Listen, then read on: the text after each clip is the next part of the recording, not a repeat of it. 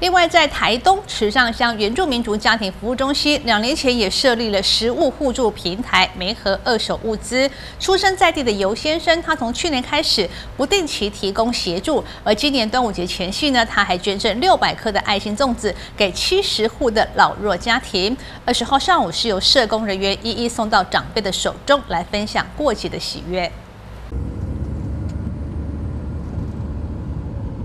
着池上原家中心服务车的脚步，一路深入山区小巷，来到独居长辈家中，送上一袋爱心满满的端午肉粽，分享节庆的喜悦。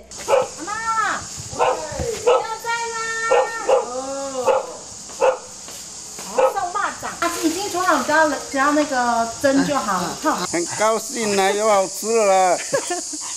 吃粽子是端午节少不了的传统习俗，但对于经济条件相对差、行动不便的原乡老弱、生长者而言，光是生活物资就得来不易，何况是应景美食。而池上原住民族家庭服务中心就在一百零七年设立了食物互助平台，协助媒合二手用品给弱势家户。这样的美意透过网络传播，远在外地工作的池上子弟有先生得知后，从去年起陆续提供援助。今年端午节前夕，更是特别捐了六百颗爱心粽给七十户受服务对象。二十号上午举行捐赠仪式。哦，都不用嘛，我的脚痛，我脚有开刀，因为我是单亲家庭嘛，所以第。回去家里都是主要主主要是注重小孩子啊，他有能力，他想要回馈社会，更多的善心人士能投入到这样的一个善举，